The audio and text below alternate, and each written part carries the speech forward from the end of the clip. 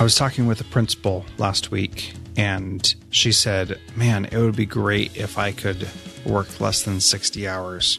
And I realize I've been keeping a secret from you. I do work less than 60 hours at work, and it's pretty awesome. I'd like to share that with you because it's so powerful. So if you go to transformativeprincipal.org slash ideal week, you can sign up for my mini course to figure out how you can shave a ton of time off of your work week. And I got to tell you, it's awesome. Emergencies are no longer emergencies. And being planful and mindful has changed the way I work. So go to transformativeprincipal.org slash ideal week and check it out. But before I get to the interview, I want to tell you about something real quick. Each year, thebestschools.org presents a $20,000 Escalante Gradillas Prize for Best in Education. The winners of that exemplify a commitment to learning, discipline, character building, and high expectations that characterize legendary math teacher Jaime Escalante and his principal, Henry Gradillas. These two educators helped students excel at East LA's Garfield High School, and their story became the 1988 film Stand and Deliver definitely one of my favorites. To celebrate that legacy and the partnership of teachers and school administrators, thebestschools.org awards $10,000 to one outstanding K 12 teacher or school administrator and also a $10,000 grant to the winner's school or district. For 2017, the prize focuses on school administrators, which includes principals, school counselors, in school curriculum designers, superintendents, and any school or district educators not based in the classroom.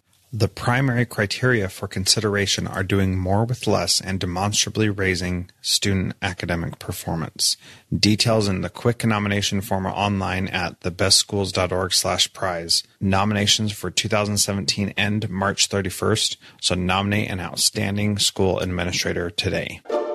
Welcome to Transformative Principal. You are in for a treat today. I have Henry Gradillas, the principal of Jaime Escalante, who's going to talk about how he leads in his schools where he's been a principal and he's been a principal of many schools. I, uh, as you've been hearing at the beginning of the podcast, I've been promoting the uh, bestschools.org prize that goes out to great uh, principals and teachers. And this year it's for principals. And so I've been working with the bestschools.org to talk more about that and uh, had the opportunity to interview Henry Gradillas. And let me tell you, this is a jam packed, story filled interview about basically setting high expectations and then actually keeping them. And man, I just loved talking with him, and you're going to really enjoy this interview. We touched on a couple of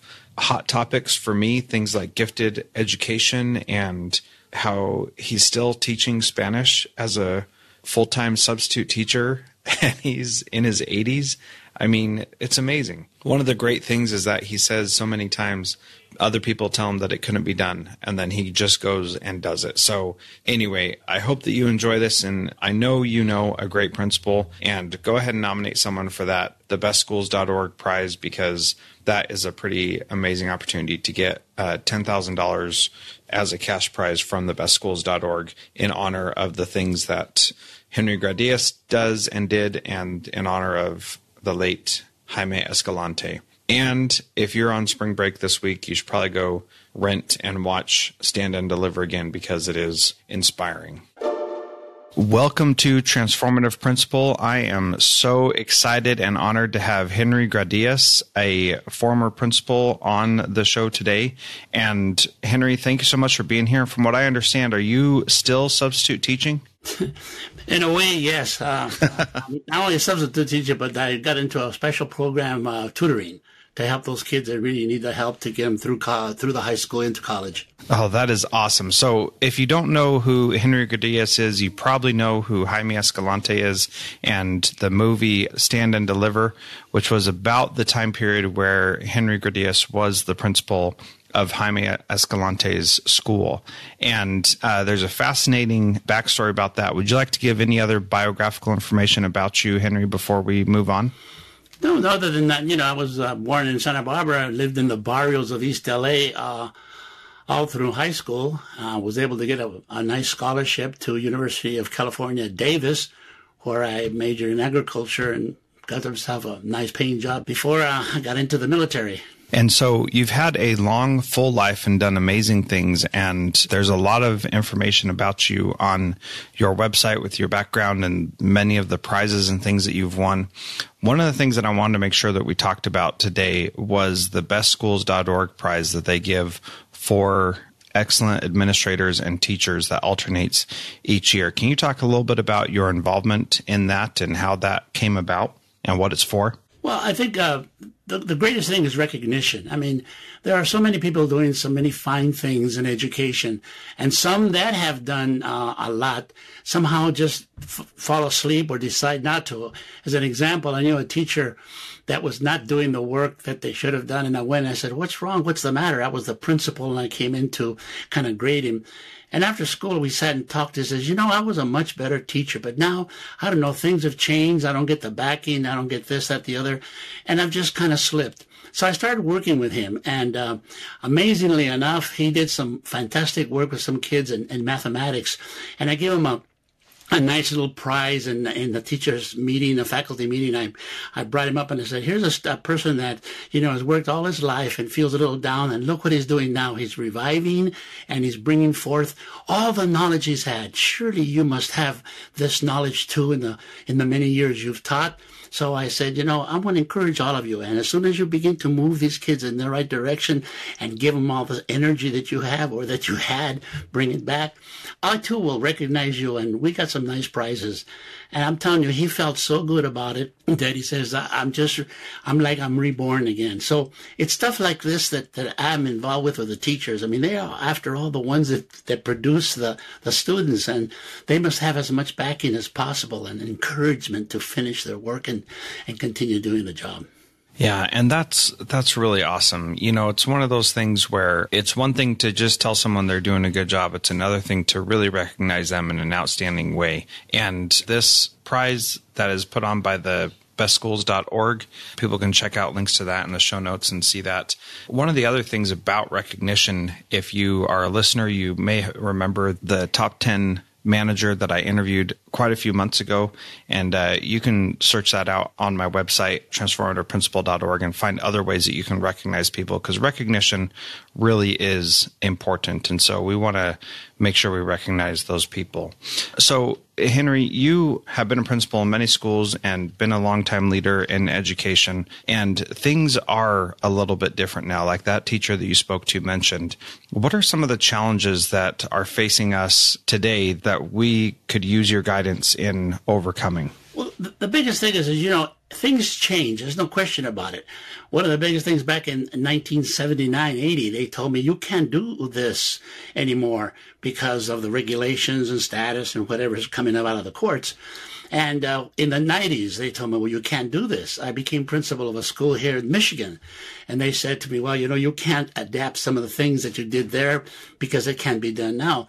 Wherever I go, they say that whatever I did in the past can't be done now in the future. Well, I've been doing it since 1970 some and this is now now yeah. and every every year i go back and i say yeah you probably can't do it exactly the same way but you can um, adapt to the to the situation. I mean i'm a biologist. Uh, that's what i got my degree in, in, in biological sciences the biggest thing i learned is is, is is is changing is evolution. It's moving from one area to another. It's adaptation. Birds will adapt. They move back and forth. They do things. The young uh, i mean uh, this is the species. This is life. And we have to grow with it. And when the problems come up that we're not quite used to, or there are problems that we probably didn't have to that extent before, then you have to look at that and say, well, adjust. You know, I have kids here that, that really can't read, but I've been working with them and reading and, and establishing courses and classes. It isn't that different from what it was before the kids that we have now might be a little different because they're not running around with their iPads and whatever you Chromebooks and you know what they have and their telephones and all. So we have to adjust to that. We move in that direction. I have certain areas where the kids can do that if they finish. If they don't, then they have to produce. The biggest thing is that I see now is that we there are so many involved kids in other things that there's no concentration on something specific. And I've been trying to do this as an example we lost our Spanish teacher that taught both at the high school and the middle school here in this uh, in this area. And they needed a Spanish teacher to finish out. They couldn't find one. And the subs obviously didn't know Spanish up here in the north. So we had a situation where they asked me, please, can you take over the class and set it up and get grades going until we find someone? Well, it's been six weeks and they still haven't found someone. And I said, you know, I don't want to be a full-time teacher again at my age and uh-huh. but I will help all I can. Well, as I go in there, I see there's there's all these differences in the classroom. I'm not used to kids coming in there with all this uh, electronic equipment. So I said, let's put it away and let's go. And all of a sudden, I have these kids repeating. They just don't understand the language, and they have all these newnesses, and they all have these computers and all this work. They have little cutouts. And I looked at that and I said, you know, that isn't working is it? And the kids say, no. So let's go road. Let's do it. Here it is. I'm going to teach you 15 different animals. La vaca is the cow. Say it. And they all pronounced it. Do you realize that when I gave that quiz, there wasn't a kid that couldn't pronounce it properly or a kid that missed more than a certain percentage? They all passed the test with A's and B's. Yeah, a few kids went lower only because they were, you know, absent. But you got to go back and say, this is what has to be done. You have a job. You have to teach it. Find a way to teach it nowadays with all this new stuff coming along. And I'm very successful at doing that because the kids understand. Today we're going to have computers. Today you work. Let's see. And I walk on there and I see the computers and I, okay, have that lady talk back to you and say the correct words in Spanish. So I'm using today's technology, even though it's bothersome for, for me at times, repeat it and they send it in. All of a sudden, Google gives it the right pronunciation, and everything goes on, and it's just keeping up with the kids. To get rid of the computer, to get rid of it, it's not going to work. These kids are going to hide it. They're going to do it underneath. They're going to they're going to find ways to use it in class. So let's be productive. Use it properly when I need it, and then later on, I'll give you free time. We can go out to the commons and sit there on the outside and enjoy, uh, you know, 20 minutes of relaxation. That's the way I'm winning, and it, it's working. Yeah, well, that's that sounds pretty amazing, and you still having the energy to be a full time teacher after your whole career. That's that's pretty impressive. So congratulations for that. That's amazing. Well, thank you. I think about teachers that you've worked with who have been successful, and certainly Jaime Escalante was was the most famous of those. And one of the things that I see is that when a teacher gets out in front, then other teachers tend to try to cut their heads off because they're doing so much better than them. Can you talk a little bit about that kind of competition among teachers that a lot of us don't really like to talk about, but that exists. And, and how do you see that playing out and how do you deal with that? Well, that was one of the situations that occurred when you see a teacher really going all out, and you see it, you see it everywhere. You see it in sports. I had it in art, where a teacher went so crazy that she decided to go into AP art, and I gave that person all of the help I could, extra money to take kids to the museum, uh, individual art exhibits that they could see and take part in and exhibit. That teacher was was getting a lot of recognition, and the teacher was getting a lot of a lot of pluses because of what they were doing, and the kids were were doing well. The grades were well. They were participating with other other individual schools and winning. I'll never forget when they wanted to start chess at Garfield. They said chess. Well, these kids have a trouble playing, you know, playing Chinese checkers and just what's impossible. They laughed at me, and this teacher came up and said, "You know, I can play chess and I would love to start a club. And I said, you got it. What do you need? Well, I need chess boards and what this, that. So I was able to collect some money and bought whatever he needed, gave him a nice little section there, and we started a chess club. And I did the same thing with those other teachers that were more or less jealous of Escalante. They told me, look, you gave Escalante brand new books, and we've been trying to get books for the last, you know, 10 years, and we still can't get newer books and you gave him a, a, new room. Yeah, there was a room there that we refurbished, and it was an old room that was for guitars, and it was it was tiered, so you had different tiers. Well, that would be excellent, you know, for music. But it was also excellent for Escalante because he could go around the room and, and look at these kids as they were as they were working in different levels. Anyway, they were very upset, so I said, "Look, anybody who wants to do the same thing, I will back you up with money, with rooms, whatever you need. And I said, listen, all you have to do is improve your AP programs. Add one more AP class Or add a, we don't have AP chemistry. We don't have AP physics. We have some AP foreign language uh, in Spanish, and, everybody got an A in that or got a five because they were AP Spanish. But I said to him, why not start AP in other areas? We have European history, history, Spanish, and now Escalante. Can we improve on that? How about he? And and one said, oh, I'm going to try it. I says, good. I give all the information they need. AP biology. I hired a lady. I said, you know, I'd love to have you teach AP biology. We haven't had it here ever. She said, well, the regular biology program here isn't that upgrade anyway. I said, well, make it. And she said, well, give me a year. Do you know that not only did she become an AP biology instructor, but years later she was asked by the college board to be a reader for the AP biology college level, and they brought to Washington. And there she mentioned the plus in a lady and a teacher being a member of this committee that evaluates and gives grades to what the kids have reported in biology. Then she comes back and starts a biology class. My her AP classes went crazy, and her regular classes improved a thousand percent because now she, you know, you're not going to go back to teaching a basic basic when you know that this is what exists. Well, then the chemistry teacher said, you know, I hired a pre-teacher. said, will you teach chemistry? Again, we'll try. Harvey Mudd sent someone that wanted to teach physics.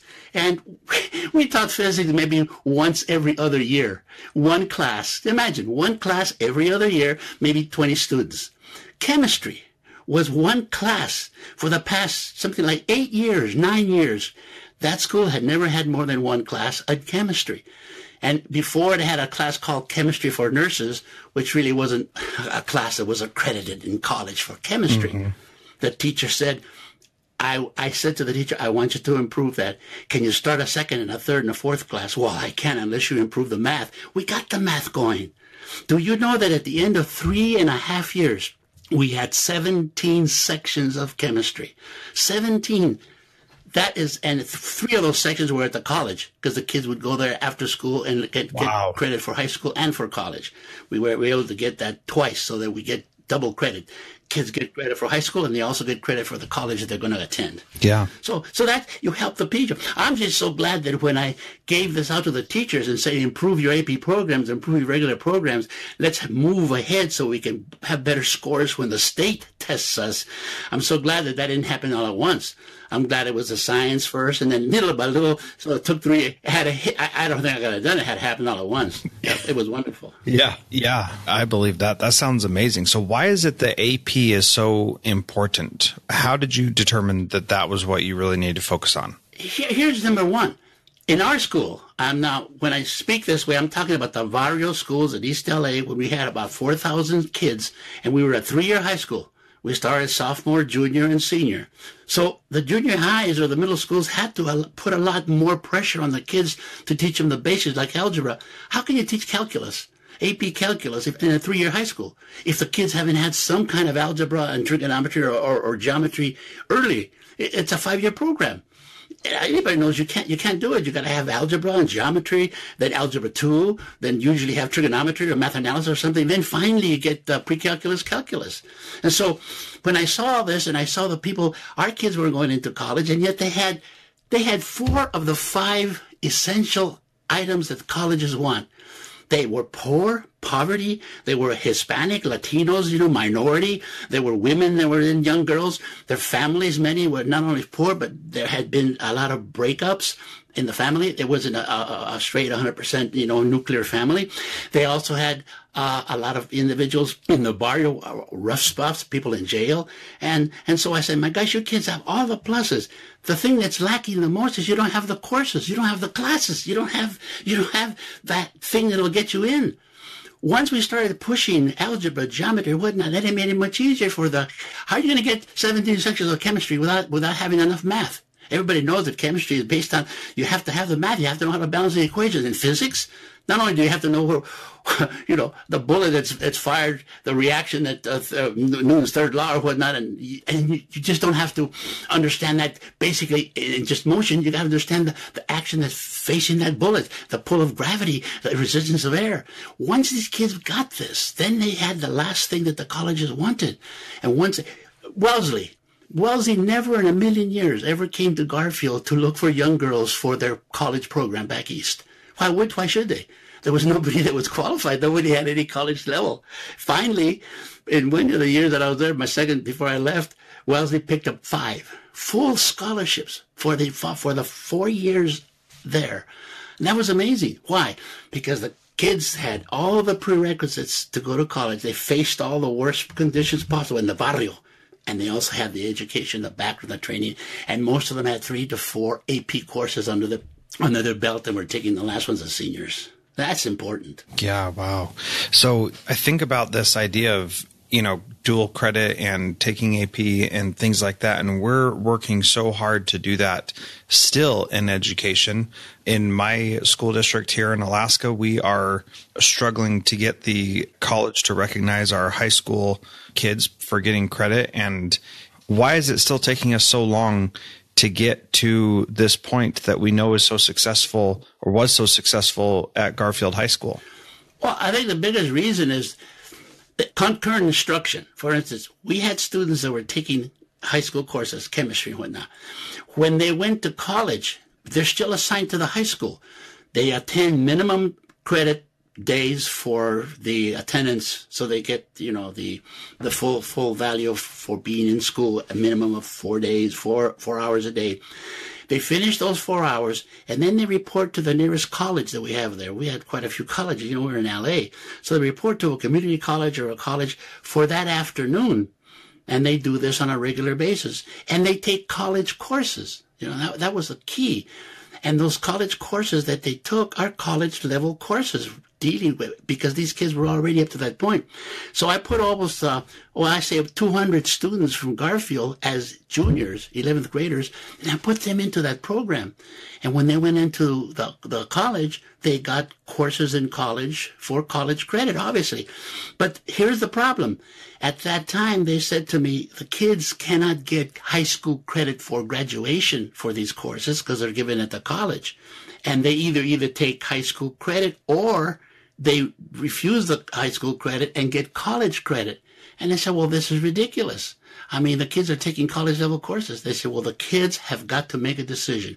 The credit either goes to the high school or it goes to the college. And so, you know what I did? What do you think I told these kids that they should do? 100%. I said, you take this type of credit. What do you think I did? College credit. Yes because yeah. there isn't a college in the world that's not going to take another college's credit for saying this kid attended college, took this course in physics, and got an A. And then the high school, I said to them, I'm going to give them credit for that because this is a core course. And finally, I appealed to the state. And at that time, the state finally said, we're going to call it concurrent instruction, which means the credit for to graduation will go to the high school because they are involved in learning as long as they have four hours of teacher time, either at the college with with high school teachers, will give that.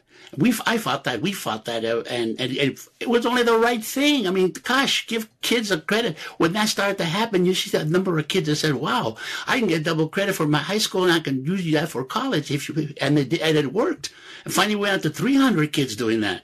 Uh, I would, if I had been there longer, after seven years or so, if I'd have been there longer, I'd had I'd had the whole school doing this. Yeah, absolutely. So, is there is there a problem with pushing that college credit down to high school and pushing high school credit down to middle school? Is there a problem with that? There's always there's always been a problem with that. People just aren't willing to change. You see, let me let me, let me show you. Let me say one thing to me is very clear.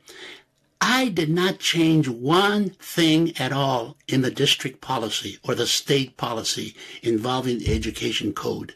Believe me, I changed nothing. All I did was use what was there and embellish it or, or, or change it to a point that the change didn't make that much difference because you had that leeway. And consequently, they look at me, I said, even now, in the state where I'm working in, the laws are there. It's very similar to California. And I say, why don't they use it? You have the power to use that. Oh no, that will never work. The parents will get too excited. And the industry here will, will jump up and down saying it's not quite qualified. And I said to him, this is ridiculous. It's in the books. Read it. And I show him, I, I bring out the chapter and page and whatnot. It's in the books. I've never changed anything. But all you have to do is be familiar with it. Be familiar that it's available and learn how to use it according mm-hmm. to who you are now. And that's what I did. Yeah. Yeah, I think that that is something that we in education do not take enough advantage of. I think that we're such rule followers in education that we just want to do exactly by the book and not do anything to like rock the boat and make uh, make anybody think we're going off course. But you know, yeah, but the boat the boat's already being rocked. And exactly. You're off course already. What what more can you do? All you can do is you can stabilize it. But yeah. that's been the, the biggest problem here. They don't want to do something. They're afraid of doing it because I don't know. It's there. Just go ahead and do it. I've tried things and it works. It works wonderfully. The kids love it. Yeah. Well, the kids they learn what you're doing and they do the thing that. Uh, that they need to be successful and they, they rise to that level. And when they know that you believe in them and you're going to make their lives better, then they're willing to take a chance themselves and do the work they need to. Look, if I have a minute, you know what this uh, gifted program? Mm-hmm. Most schools have a okay. The gifted program is a program where the kids at an earlier age were stamped that they were gifted because of a certain IQ level. Right. And the testing happened in elementary school and even up to middle school or junior high. But the testing doesn't go on in high school. It, just, it, had, it hadn't. And um, the very few that might be tested in high school is kind of late to be put into the gifted program because but you're marked early enough and you're put in. I saw potential. Escalante saw potential. And many teachers that by now were in Escalante's group saw this potential and told me, you know, we have a gifted program, but it's so meager, so insipid, so it's just ridiculous. There aren't enough kids in there. And surely with a population at that time of 3,600 kids, we should be able to have more kids in the gifted program.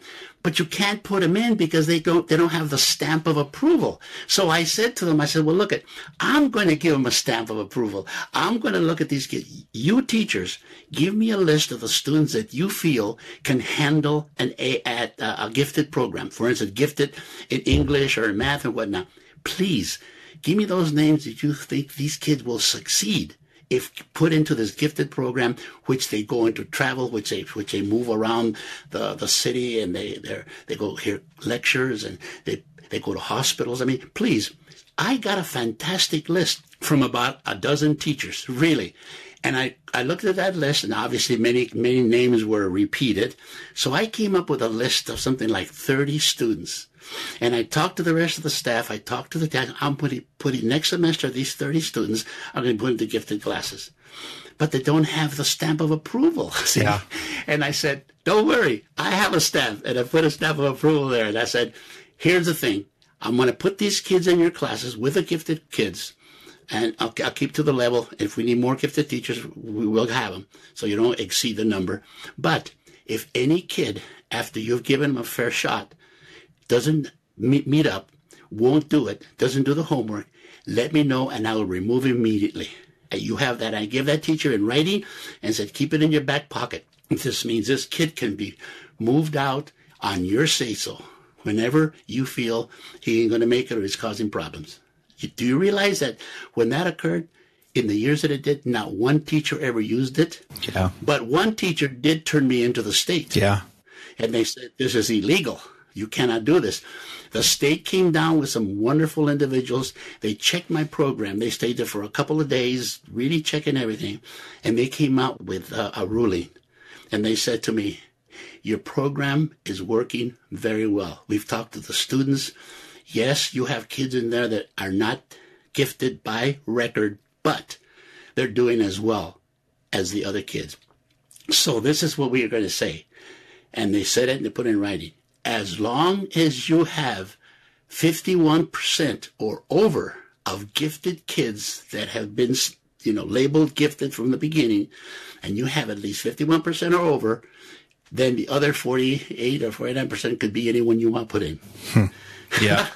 that was that was the first time in the whole LA in the district in the in the state of California. This was the first school that allowed kids to come in because the teachers had said they would succeed.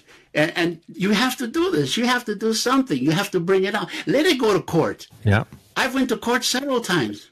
It's important. You know, I I feel so much justification for how I've been acting at my school and saying that we should give these opportunities to students rather than hold them out in front of only the kids that are anointed as as gifted and that kids will if we give them a chance and we give them the stamp of approval, they will likely rise up to that and we won't need to take them out. And, you know, it's so frustrating to see when people have low expectations of kids because of whatever reason that they're Hispanic or African American or whatever it may be, or poor or whatever.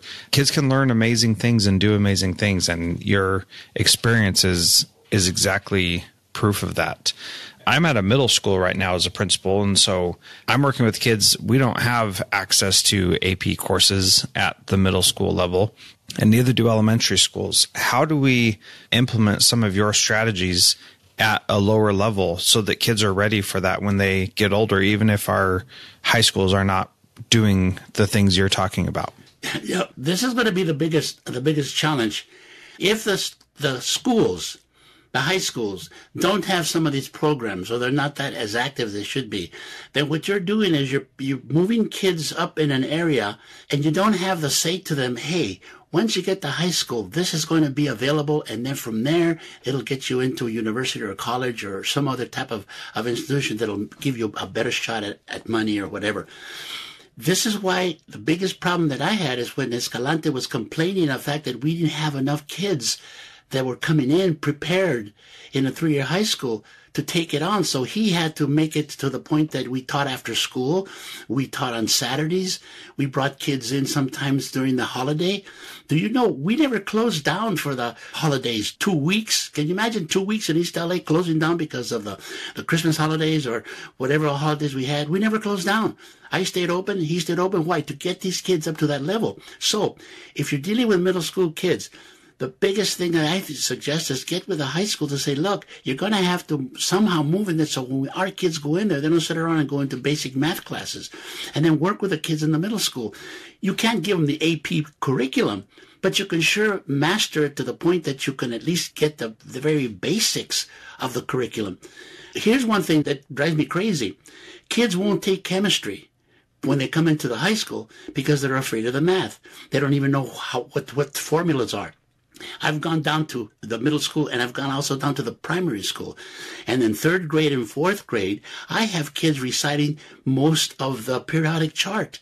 And you can start early enough. A, a third grader, a fourth grader, you show them the chart. You don't got, you're not going to explain it to the, at the level of high school, but you say, look, that's gold. It's AU for auto, and it's that's the symbol for gold. We all everything has symbols, and you show them the symbols, and you teach it, and you bring in a piece of gold, and you bring in silver, and you bring in lead, and you bring in tin, and you say this is oxygen, and they can see it, and, and you begin to teach them this, and you see, they show where it is on, on the chart.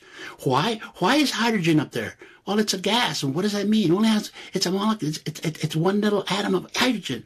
And you can explain it's a one because it has one proton and it has one electron. The other element doesn't have neutrons. Is that that difficult to teach the third and fourth graders? No. And if this would continue grade by grade in the junior high or in the middle school when you have them, it should be mandatory that not just in a science class, that five minutes be given to English. Let me give you an example. At Garfield High School, we had a bulletin at that time, we didn't have the emails and computers. And every teacher received a, a bulletin for the days day schedule in their box.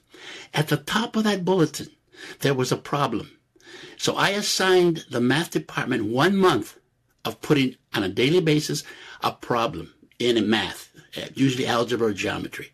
Like, for instance, if this isosceles triangle, isosceles triangle, has the apex angle of 80 degrees, what are the other two angles? Well, you know that triangle has to have 180 degrees in the triangle. If it's isosceles, then the two sides are equal and the two angles are equal. So if it's 80 to be 180 and they're equal, each one has to be 50. This is not beyond the comprehension, sir, of a kid in junior high, believe me. But yeah. if you wait until the kid's in the ninth grade or tenth grade to even introduce this while his computer is running around in his hand, it, it's sick. So Escalante and I would teach this to these kids early enough so they not only get the interest, but they would know this. They would love it. They would be prepared. We'd have contests. We have contests who can solve these problems. The second month, the English department would put things down. Guess one of the questions that was that killed us on the test of basic skills in the state of California. It was an English question was how many lines in a sonnet? Now, why would they put that? They say this is ridiculous for East LA kids. No, this was this was a, a question on the CTBS on the test that given by uh, California Test of Basic Skills, a comprehensive test. This was the question that was asked of every senior in the state of California on that test. How many lines in a sonnet? Knowing that all kids must have taken one in their semester or in their in their year of English, one portion of of Shakespeare, of Hamlet, of what he saw, of Shakespearean English. That was mandated. What I found was that 80% of the kids in Garfield High School never took any at all, any uh, instruction in Shakespeare. Why? Because they were in remedial courses. And so what I changed, and you have to show this to the principals, if a kid is having problems in remediation in English or whatnot, give them the remediation. But right next to it, the following hour, give him the regular class that by law he has to have. So every kid had English. Yeah. Mm-hmm. That by law he had to have because of the state required it, which which showed Shakespeare. And if he was below reading level, an extra course in what? An extra course in remedial reading. So he didn't miss out on how many lines in a sonnet. You see, and it wasn't wrong because he was getting the instruction, but he was getting also the instruction to beef him up. And same thing in math. Do you know what that does? That kills a kid with two extra hours that something has to give. What do you think gave? Football, arts, music. They didn't have to take PE. Uh, Found uh, out the law says they only need two years of physical education in a three-year high school. And consequently, health, for instance. You didn't have to give them health as a, as a beginning student. You give them health as a senior. So the things that started happening was that these kids wanted out of those ridiculous programs to be able to get their electives. Well, baby, the only way to get out is to pass that course, let the teacher give it okay, and that's it. At the end of two and a half years, from, from, from a massive amount of kids having that, we were just down to one class in, in, in English and one class in math that was remedial double periods. Because the kids know, you know, and, and, but everybody's afraid to do it. You know why? Because I got sued. Because a parent came to me and says, my son plays the cornet and he's going to join your all city band, which we had a tremendous band and you're not allowing him to take that band in the morning to play at the football games when he plays on the mariachis because his parents were all involved in playing musical instruments. They were mariachis. They'd sing at weddings and funeral, you, you name it. They sang everywhere. And this kid was not able to join the band. Why? Because he was taking English and, math. I was sued on that. The superintendent came out and said, you can't do this. And I said, yes, I can. Here it is in your own writing. Everything will be done to move a kid through the grade level with the goal of graduation. And if he's behind, then the school has to make it appropriate so that the kid will graduate. It was there. I said, vote that, fine. Not, he stays. Guess what happened? The kid not only got out of there, but was able to, to enjoy it and tell other kids. He went back to the junior high the next year and said, you know, Gradillas, ego get you. You better get your courses now or you're not going to play art. You're not going to play football. Honestly, I swear to you. And, I believe it. Oh, and, and the kids all said, okay. You know, a kid teaching another kid or working, it, it's the best. You know, a kid will turn everybody off, but uh, he won't turn his friend off. But the friend says, "You better watch it. That yes is waiting for you." and the teachers in the junior high said, "Wow, you're doing more to improve the academics of the school here then and I said, I don't want to hear it. I don't want to compete with it. I'm the principal of Garfield and that's it. I'll do all I can to help you. But as you help, as I help you, you're increasing the knowledge of these kids, which is helping us to, to give them the, those courses that are going to be necessary in the length of time we have. That to me was amazing. Yeah, that that is amazing. You know, one of the things that I think about with that is you got sued and you can laugh about that now, but that's a pretty scary thing to go through. How do you deal with that in the moment when those things are are happening and how do you stay strong and stay committed to the course and don't get scared by the naysayers and the negative people who are trying to bring you down? I know because you know you're right. Because you know Exactly. you know, yeah, you know, you know that the kids are the ones that are going to benefit from it. You know, everything you see, you bet the kids benefit. This one place where they told me you're taking the food from the mouth of our kids because my kid works on Saturdays and you're having him, forcing him to come in on Saturdays to do the makeup work because he's not, he's failing some of his classes. I said, yes. And that's, that's what I'm doing. And they said, well, you can't do that. And I kept pushing to that point that finally one of them, they brought me before court or something and there was a hearing and, uh, I presented my case and they had a, a assistant lawyer or someone that was there. I, I don't know exactly what it was, but it was a, a hearing and after I got through my stuff and they got theirs through, the judge stood up and he said, I am so glad that finally, you know, the principal is doing what principals should do and they get paid for to run a school and push academics and get these kids through. I'm going to side for the principal.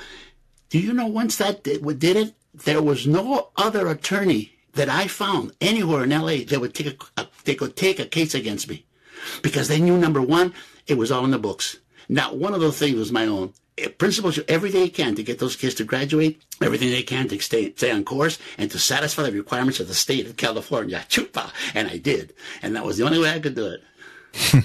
yeah. Wow. What a fascinating story. Now, what you said that you, you said because you know you're right, you say that like it's, like, duh, everybody should know that. But when other people say you're hurting my kids' feelings or you're making them feel bad or you're making them not able to work, that hurts educators. How do you teach a principal or a teacher to have that backbone to stand up and say, no, I know I'm doing what's right? One of the things was I allowed the kids to do it. For instance, if a parent would come to me and has and said, look, my kid needs to be specific. I said, my kid needs to work on Saturdays. I said, yes. And what is he doing? Well, he's stocking stuff. I said, look, do you realize that if we work with him in math, he's very sharp. He's got a fantastic brain. He can do it, but he's not coming to school because you're also using him probably, you know, you shouldn't. You're probably using him also during the week. And the kid says, sometimes he can't come to school because you have him working. I said, you realize you're on, you are, and this is heavy. I will regret saying this but you are on subsistence. You're being paid uh, as a parent for your child to go to school, the lunch money, the this, the compensation. And when you sign that piece of paper, and I have one right here, not yours, but I have a blank one, it says that you'll do everything to have make sure that your student goes to school on a regular basis to be able to graduate. It says right there that you're going to accept this money, and you're and what you're going to do on your part is to make sure they attend school. You're not doing it. So if I was mean, I would just rip it up and tell the state he's not enrolled. And I've done that a couple of times. And you know, you you write something down that the kid's not enrolled, and they're getting subsistence and help and whatnot from wherever, and he's not enrolled because, to me, the definition of enrollment. You see, that's it. He's enrolled. I bet you that 100% of the principals, or most of them, will say, if if they ask him, is Jones enrolled? He'll they'll look up in the Rolodex and says, oh yes, he's enrolled. He signed in the 3rd of September. But he never came back. Now it's yeah. now, now it's uh, you know, January of the next year, and he never came back. But they keep asking, is he enrolled? And so what I've done is I changed it, and I said to the state, and the state came back to me and said, your definition of enrollment. In fact, I have it somewhere in my office here. There's, there's one of the finest statements I have ever received in my life. I don't want a certificate for this. What I wanted is the state to say, your definition of enrollment will be accepted. And my definition of enrollment was you are enrolled in the school pursuing an active course of study that would lead you to graduation. And if you're not, then you're not enrolled. Do you know what this did to the school, to the district? the parents were bringing kids in that I've never seen before, and they said they, they didn't want to lose it. And look at this. Of the five people that I said they weren't enrolled and they lost their AFDC or whatever, Two of them got it reinstated because they appealed and I signed it, say give it to them. It was okay. And two others left. One went back to Mexico and the other dis- they disappeared. They went to other parts of the country. There was only one that stuck it out for a while and then left. So notice what happened. It was just the fact that, yeah, I was bad. I was mean. I was, I was threatened. You, you of all people, they said to me, you're Hispanic. You make the sign of the cross. You go to the corner store that we all go to and have tacos and enchiladas. You speak our language. And you're hurting us more than an Anglo would. We'd be better with an Anglo-Saxon principal. I said, yeah, because he'd be afraid. Because he would let your kid water and all this. He'd let you play around and keep him out of school on Saturdays and maybe Fridays or whatnot. I'm not going to do it. You know, once this started and the kids started coming to school and the grades started to improve, do you know I would let kids come in on, on during the Remember, I told you during the holidays we also had classes, but right before the holidays, a lot of colleges let their kids out for Christmas or whatever.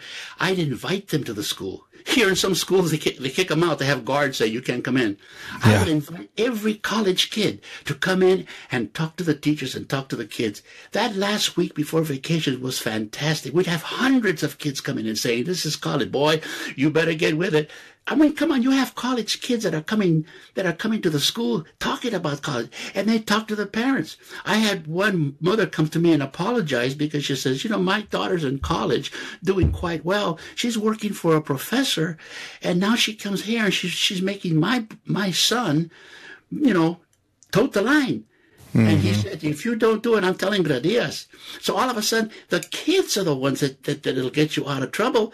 You know, you can't afford the kids, and all you're doing is giving them a chance. All those college kids, those that went to Wellesley, can you imagine them coming back? One of them quit. One of them only stayed the year of the five and didn't like it, didn't like the atmosphere. Mr. Mr. Family, Mr. Mr. Foods.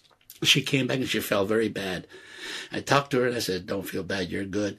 Guess what? That next semester she was accepted at UCLA. oh, perfect. well, why, why, would UCLA turn down uh, a B student that got B grades and all this stuff from Wellesley? Come on. Yeah. And she's very happy and she got her degree. Oh, I would love to give you all the emails that I get from from kids. There's one Guatemalan girl that didn't that was very shy and I said, you know, open up. You got so much talent. She's now a CEO of a mercantile company in San Diego working with the Mexicans, uh, trading stuff and with China. And she learned French. She knows English. and she says, wow. this is fantastic. And I got a letter from her saying, thank you, thank you, thank you. All I did was push her and, and, and open the way and clear the path for her so that she wouldn't stumble. Later on, she found out how to clear the path for herself, obviously.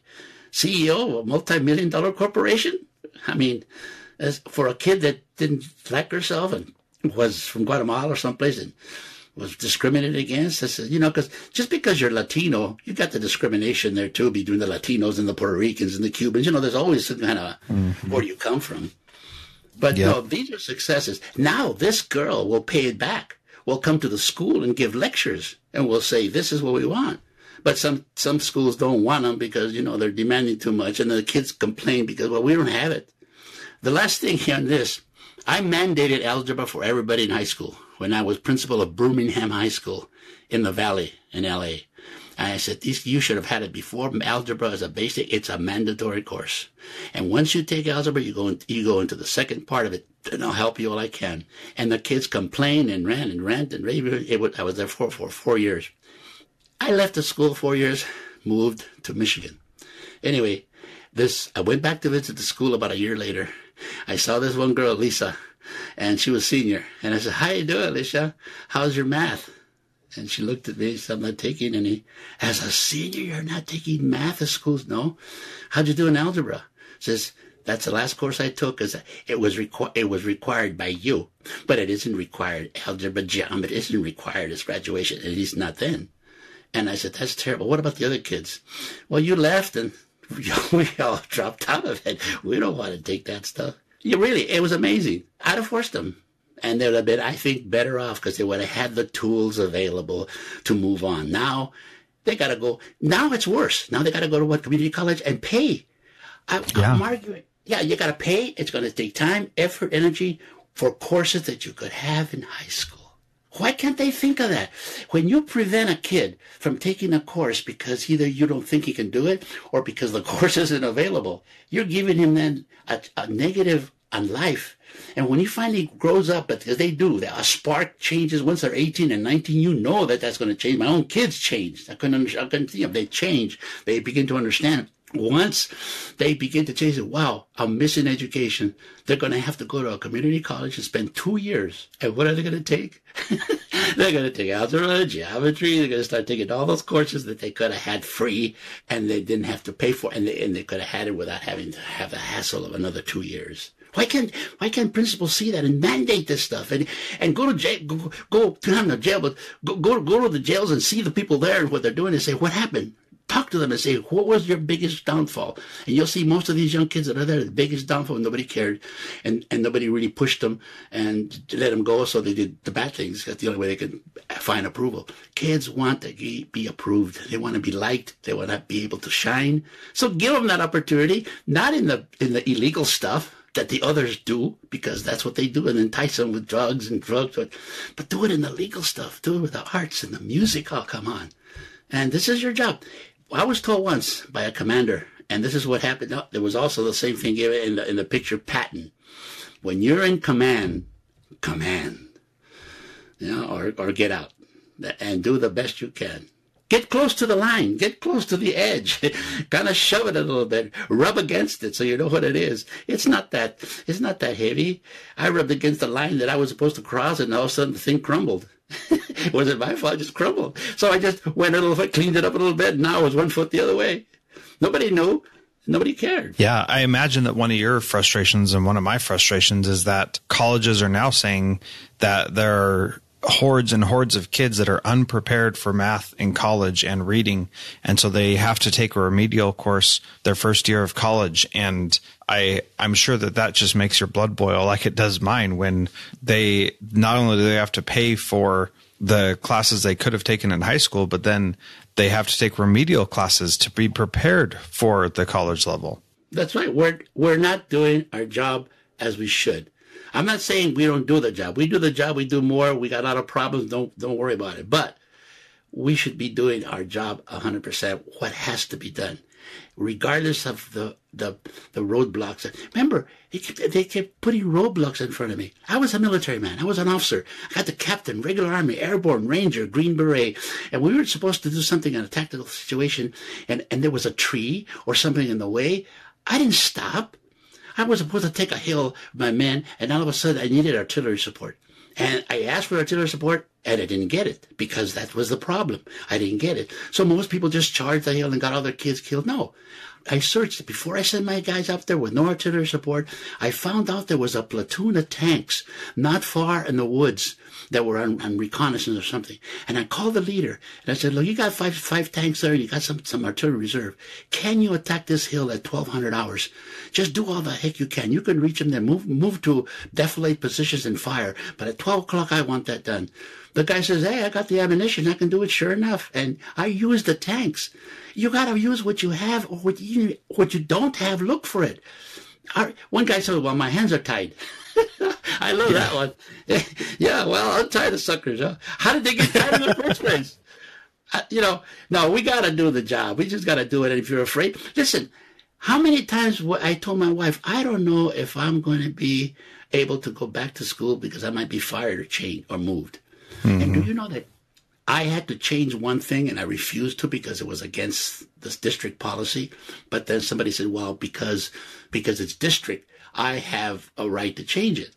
And I said, no, you don't, because this is state and you're just the, the in the city. So I said, I'm not going to change it. And things, the rule stands. It's on, on moving kids and accepting kids. And so he said, then what we're going to do is we're going to move you for a week, transfer you someplace else, move a principal in there and he'll, you know, get rid of it. Then we'll bring you back. And I said, go ahead. But let me tell you one thing. The instant you move me out, first of all, I won't go back that way. And secondly, you're going to have the biggest lawsuit in your life because you're depriving me and you're illegally doing this. So it's your move, but the order stands. And he must have checked somewhere because the order stood. He hated me. But that was my job. It was for the kids, not for him. Yeah. Well, that, that speaks great courage to principals who are, are constantly in that situation. This has been a great conversation. I think I could talk to you for hours and hours, but my last question for you, Henry, is what is one thing that a principal can do this week to be a transformative principal like you are? Do this week in, in school? Yep. I think one of the, the biggest things that, that can help a principal, and I'm going to go to those individuals that help the kids, because you can help the kids all you want and you can do it, but it's not easy. We have so many. But what if you go into a faculty meeting and you have everybody there and you have a, a nice meeting, and you don't say faculty, but you say faculty and supporting staff. That means the custodians, the janitors, because they did so much to bring that school together.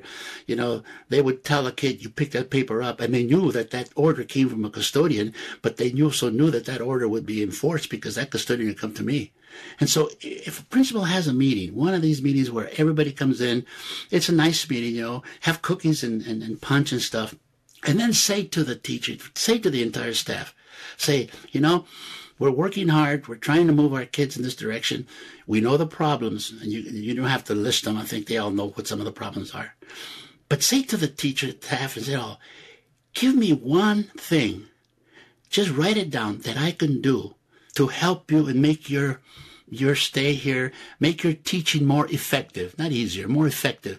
For the custodial staff, make your jobs uh, more effective so you have you don't have to sweat it as much and be hurt. One thing that I can do to improve the the whole business here, one step that I could do starting this week, immediately, that I can do right now. You tell me something, like this teacher once said, I need a venetian blind. That night I took it down, had somebody come in. We had some extra ones, put it on there, and that was it.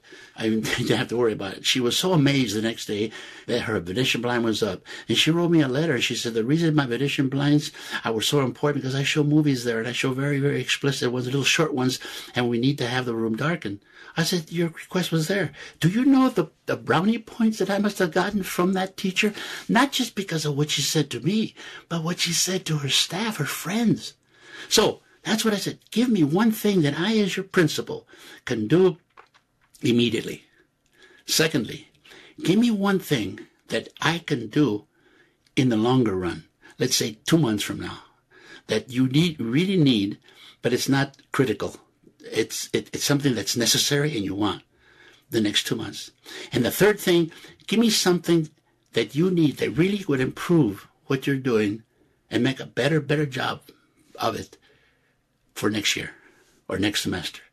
Something that I could think about right now and I have right now, what is it? Maybe six months between now or we're now in March.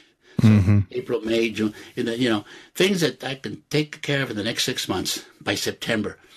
If you can do that, I'll look at them. I'm not promising you anything, but I am promising you that I'll look at it and some will be done as I say. And we'll work on this. Now, you keep in mind those things that you've asked me that you want right away within the next few weeks at the end of the year. And see what you can do to when I come to, you to work with you in, the, in these areas, what you can do yourself to move it along a little bit. I know you've tried. But now you know you have help. Now you know I'm going to bring the bulldozer, baby. So that little shovel that you have there, you know, you could you, you use it to scrape out. But I'm bringing the bulldozer. So if you want to move a little bit more, if you want to move the plants out of the way that are going to be crushed over because of your request, do so. Prepare for me to make the changes you are requesting. And that's it. And I did that to my staff. I did it at the very beginning when I first got there. And uh, you should see the things that they asked. It was amazing. But the things they asked, number one was, uh, I won't say it now, but number one was almost unanimous. the things they wanted me to do immediately it was unanimous. And it wasn't discipline. It's amazing. Well, what was it? really, the, the, the biggest thing that they wanted was attendance. They said, we cannot do our job if the kids aren't here. If I have, one teacher said, I have 32 kids. And on Monday, I only had 25. On Tuesday, I had 22, but I had two of the other ones that were here at Monday gone, and somebody else was there. On Wednesday, I had almost all the kids there. And Thursday, I had a, a whole new complement of kids. Some were still out. Some that were there are now out. Some that were out are now here. She says, I'm teaching this English class. And there's no way. And then a kid comes in that was out two days or three days the following week and he's missed it. Now he's sitting there wanting to do some makeup or he's not ready for the test. He says, give me a straight bunch of kids that you have that don't have to worry back and forth. And I can promise you a, a better prepared lesson so that I can get most of these kids to where they have to be. And that was number one. And that was immediate. That she wanted the next day. So I started looking at it and, uh, and we started changing. I started looking at attendance. That's when I started talking to the parents and I started saying, you know, you don't, you don't bring your kid here, you're going to have a problem. But that was the, the number one thing. And the attendance did improve. We went from about 60, 72% daily attendance in a matter of a year and a half to 97, 98. The Kids were yeah. coming into school really because they knew the consequences. And so when I asked these teachers on this, I said to them, I said, you will become a, here's another thing. For the longer run, uh, they, I, they, I said to them, look, you know that by law you only can have 32 kids, or let's say 30. 30 is what the union says you have. Do me a favor. Take 33. Oh, we can't do that. Wait a minute. Take 33 kids. Because you know that the 30 that you have now in September, by June, it'll be down to 25. You have lost five kids through yeah. attrition, through whatever they went. Okay. Let's say you take 30, 33, three more or 34. At the end of the year, you will still have lost the five kids, but now you'll be a little higher up. You, you, you know, you'll be at 31 or 32. And uh, so the average will still be what the union says. And this is the promise I give you. And, and I said this because I had money from banks and 100,000 from Arco. Coca-Cola gave me 100,000, 50,000 in two years. Um, anyway, I said to them, if you take three or four more kids from what you should have, you know at the end of the year you're going to lose them. However, if you take them, I promise you, I will not add another kid to your class the entire school year. And that was, I will not put another kid into your class at all for the next school year. So the 33 or 34 you start with, you will keep to the end of the year, less those that drop out.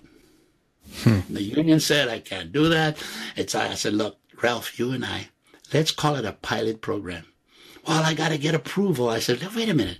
It's a pilot program. You approve it. I approve it. We put it up on the board. The teachers see what they say.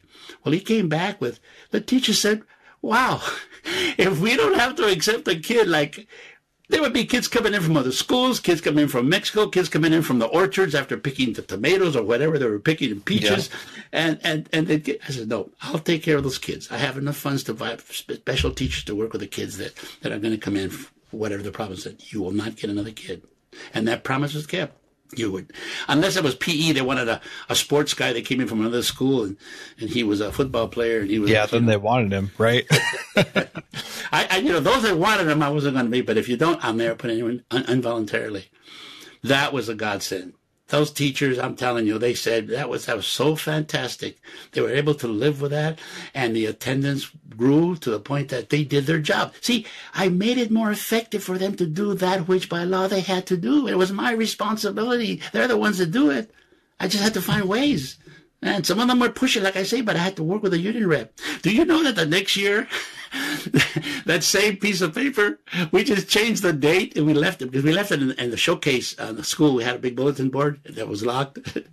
the next year, we just changed the date. It's still a, I think it's probably still there, pilot program. yeah. But look at the oh. benefits. Yeah.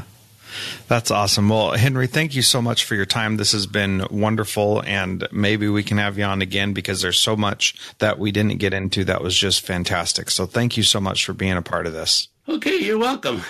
Have a good day.